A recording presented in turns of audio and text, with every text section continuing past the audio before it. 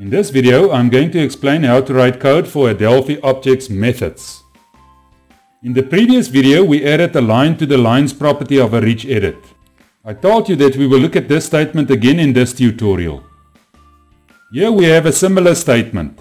This statement takes the value displaying contact information and adds it to the lines property of a rich edit named red output.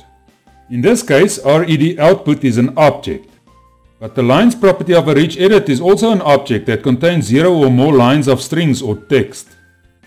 So in this context, the lines property of the rich edit will be our object. Just like with a property, an object's name must be followed by a dot if you want to program its methods. After you type a dot, Delphi normally presents a list of properties and methods related to that object. You must then select or type the name of the method after the dot. In this example, we selected the add method. When programming a method in Delphi code, we refer to it as calling the object's method. So in this statement, we are calling the add method of the lines property. Later in this video, we will look at a few other methods. But what I want to point out now is that a method's name is normally a verb, like add, or show, or set focus.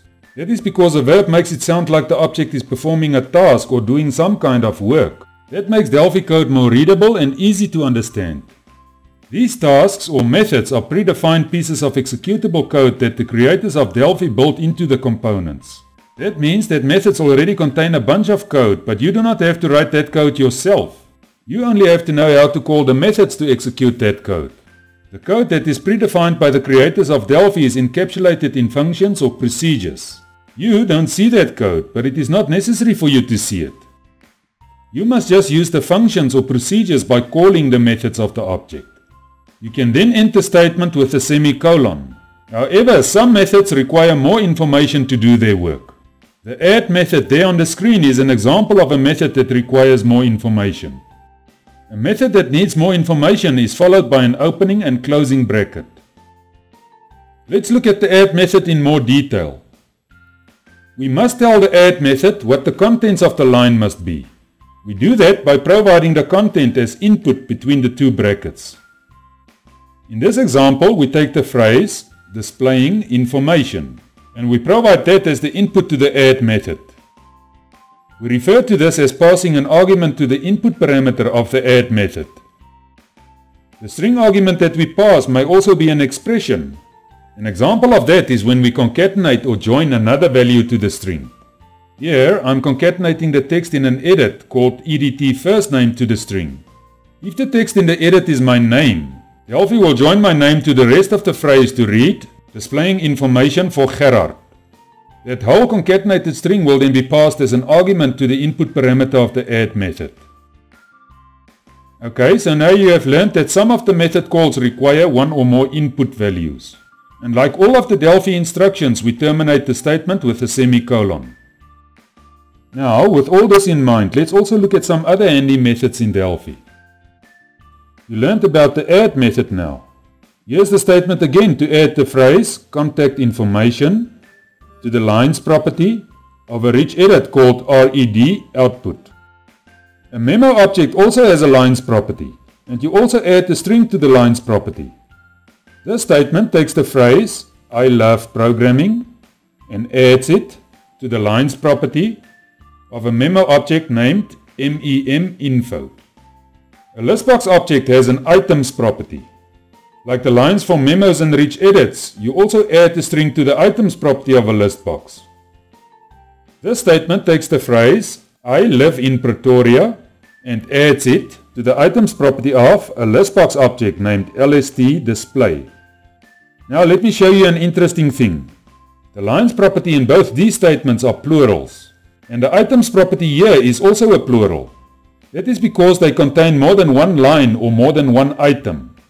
We refer to this as a collection of lines and a collection of items. Most collections do not use properties or assignment operators to set them. Most collections have an add method to populate the lines or items. With caption and text properties it is different. A caption or text property is a singular value. In other words, they do not contain a collection of values.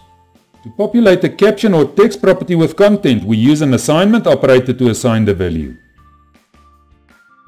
Another method that you may use often is the clear method. We use the clear method to remove contents from some of our objects. You don't have to specify what you want to clear. The clear method removes all the content.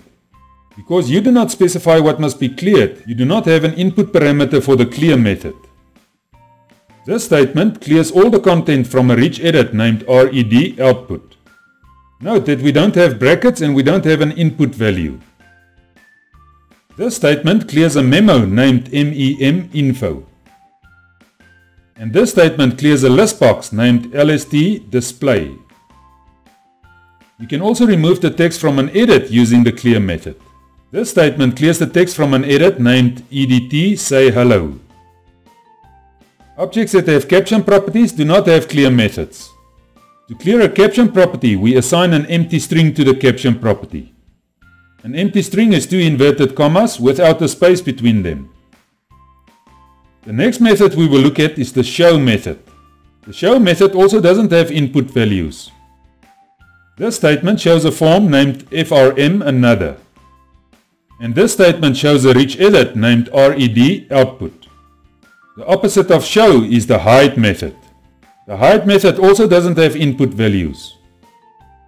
This statement hides the form named frm another and this statement hides a rich edit named red output. The set focus method shifts the focus to an object, or it places the cursor inside an edit. Set focus also doesn't have input values. This statement puts the cursor inside an edit named edt first name with the set focus method. And this statement sets the focus on a button named btn display. These are just some of the methods available for Delphi objects. If we look at the names of the methods like add, clear, show, hide, set focus, we can hear that the names refer to tasks that are performed, and therefore they are all verbs. In the next video, we will continue with our contact information project. I will demonstrate some of the methods that you've seen here in the next tutorial. I'll talk to you again in the next video.